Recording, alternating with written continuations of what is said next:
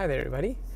On today's video I'm uh, working on this uh, Mercedes uh, B-Class. This is a um, 2006 and basically just the other day the engine light was on. So this light was on. Um, just funny enough today I come to start the car and the light is gone off nevertheless um, I just wanna I'm gonna be reading the fault code using this uh, machine and see what might be going on. In case you didn't know where the OBD port is on this car. So down here by the footwell is where the OBD port is. So while showing you the location of the port, the uh, machine has found uh, a fault code. So we're just gonna press OK on that and then read the codes. That is a, a map or a MAF sensor, so that relates to um, either a the airflow meter or the pressure sensor, the manifold uh, pressure sensor. Gonna have a quick look at the data here. This machine, um, it's a it's a launch 5001. It it only reads uh, codes from uh, from the engine. It doesn't really um, do anything else. It doesn't do ABS or brakes or anything like that. It just, I mean, it's not a bad one, but uh, but obviously, if you wanna do more, uh, then this is not the best uh, diagnostics socket. Now let's have a look here. So intake manifold absolute pressure. That's one of the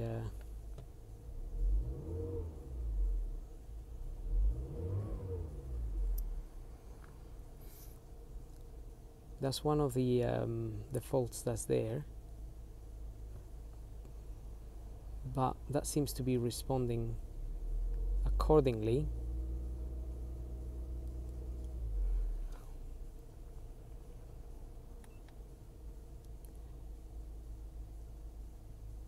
Uh, because I'm not sure this car has um, an actual uh, airflow meter something I'll have to double check.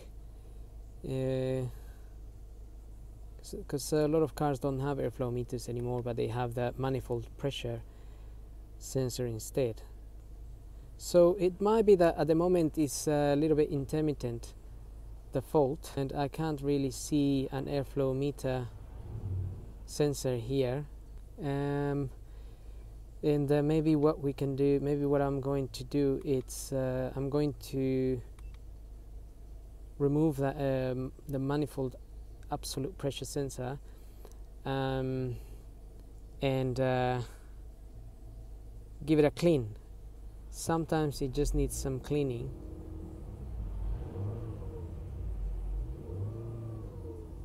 And then see how we get on with that because uh, the moment like I said, the engine light is gone out, so the ECU must have uh, must have calculated that uh, the readings are okay and it's taking the light out. But um,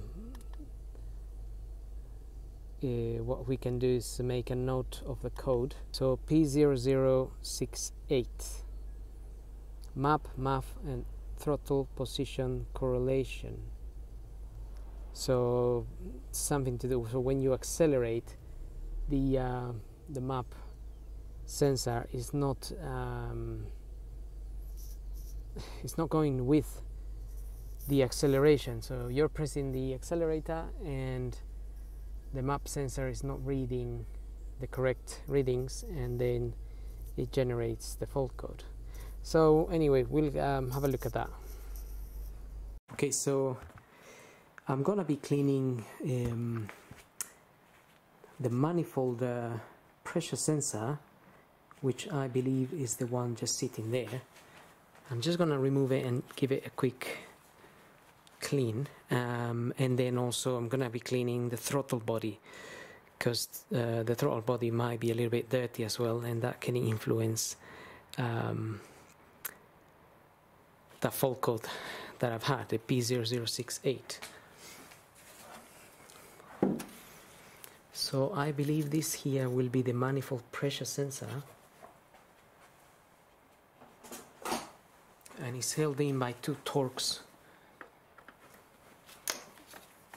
screws. I think those are uh, maybe T30s. Just can't tell on this tool.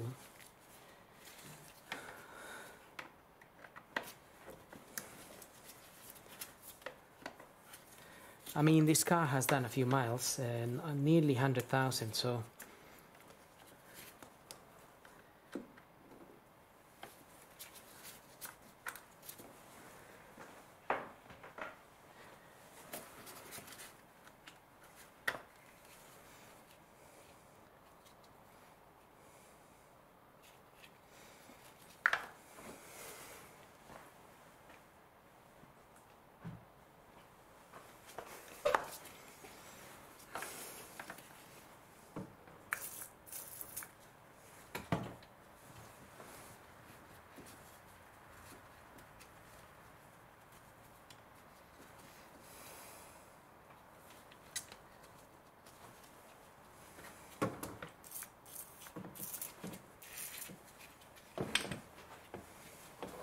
So I'm just using some uh, brake and clutch um, cleaning fluid.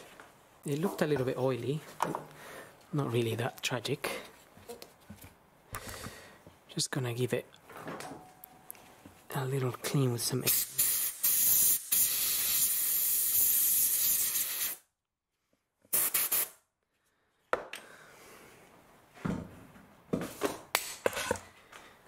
That's as much as uh, we can do really as cleaning it.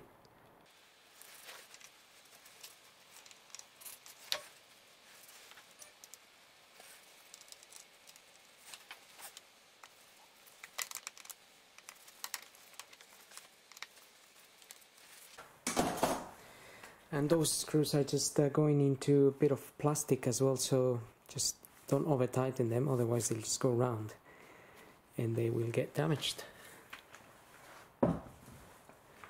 so we'll move on to the um, doing the throttle body cleaning now. Shouldn't be too complicated. To clean the throttle body we need to remove the air box here. This is uh, where the air filter is. So we need to remove these two screws. These are Torx T20s I think you can then lift this up and if you push it towards the back you'll be able to disconnect it from here just to move it to one side. Also we want to um, disconnect this this cable here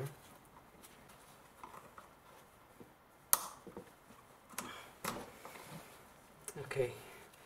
Have to press on this clip to undo it but it looks like it gets a little bit stuck so I'm trying to lift this bit here. And then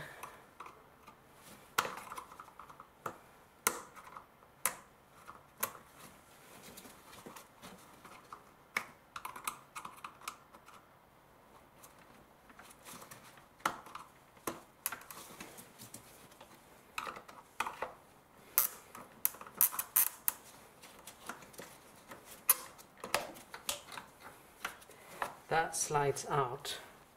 If you flick this little clip back a bit that slides out of the way. So let's have a quick look at that. So just this clip you push it back slides out of this little mount here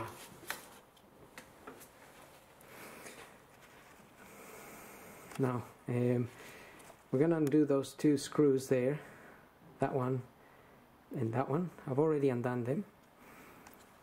You're gonna need that star type of socket.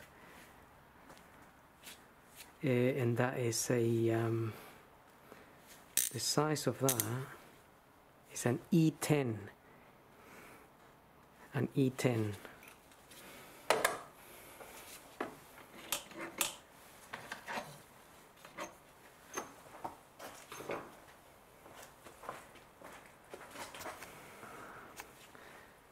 Um, also, we're going to lose this hose here, just uh, twist it upwards a little bit and uh, pull it out. Maybe I'll just get it somewhere out of the way here.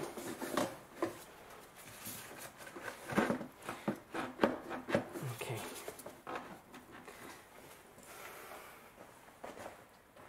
Then we can uh, disconnect the airbox from the, the throttle body there. But this is also plugged in some mounts just down there and we need to try to disconnect it from the mounts really.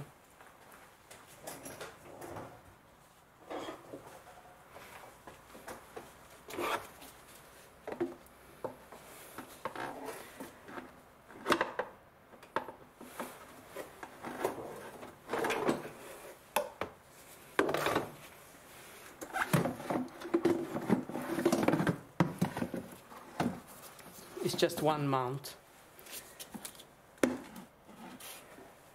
And uh, that is out of the way. So that's giving us access. And uh, I don't think that throttle body was ever cleaned. And it could have some, uh, it does have, as I can see already, some carbon buildup there. Um, which can cause this um, issue this small uh, this intermittent issue regarding the the reading of the manifold pressure sensor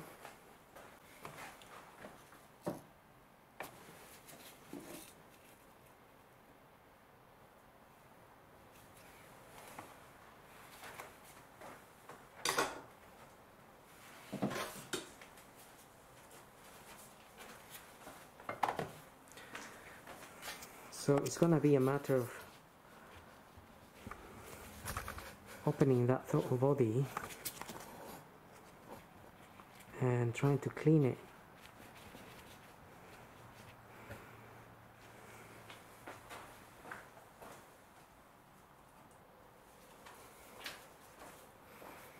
And I'm gonna be using some of this stuff. It's called air intake carburetor cleaner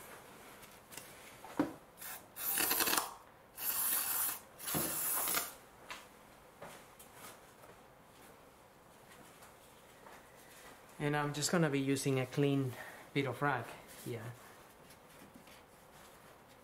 This uh, carburetor, cleaner stuff tends to um, melt the carbon.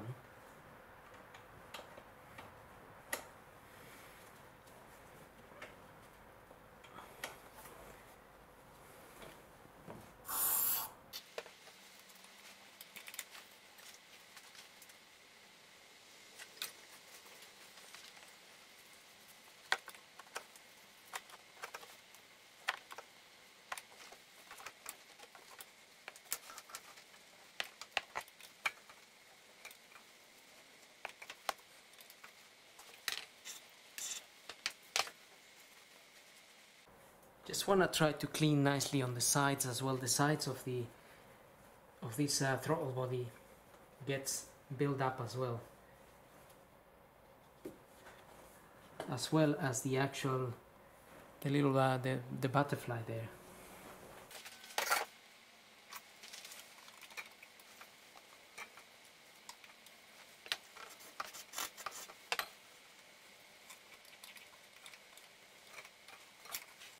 this uh, general cleaning also improves a little bit the, the idling of the car normally. So perhaps it's something that we should do more uh, frequently during um, ma maintenance.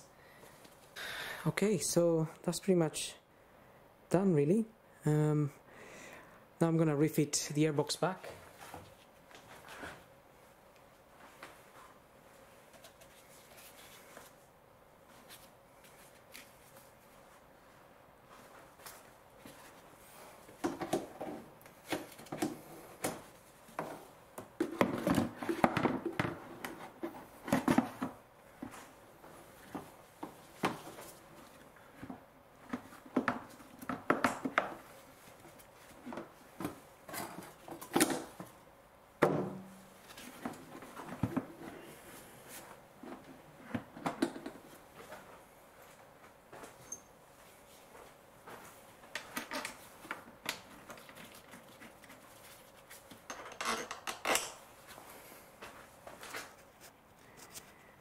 Okay, sorry. So, uh, sorry there. I was just um, fitting the airbox back in there. Just pushed it in there.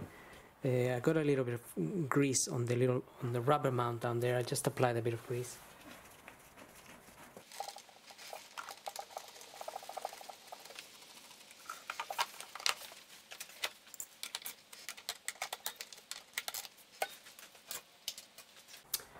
Those uh, screws are quite delicate so just tie them in slowly as well.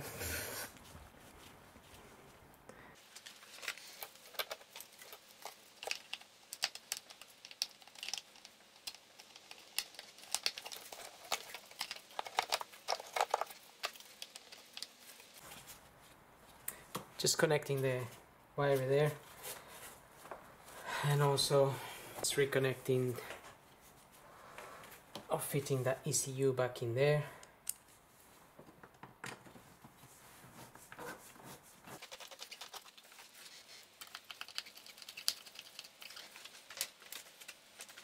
And um, okay that's it.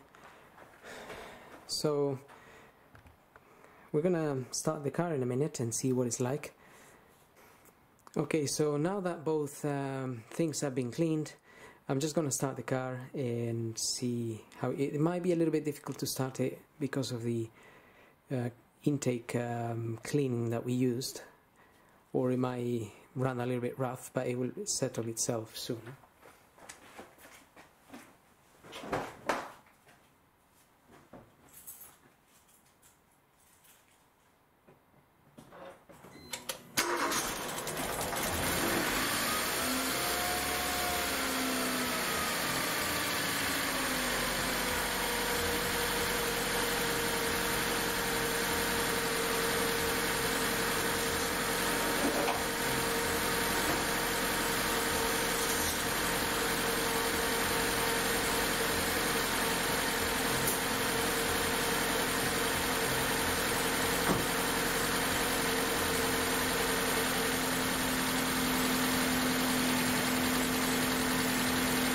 Okay, so that's running okay now.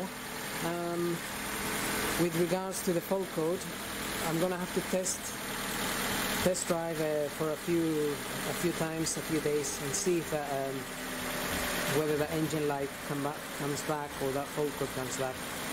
Um, because it was intermittent as well as um, basically the engine light came on, but uh, few weeks after it went off by itself.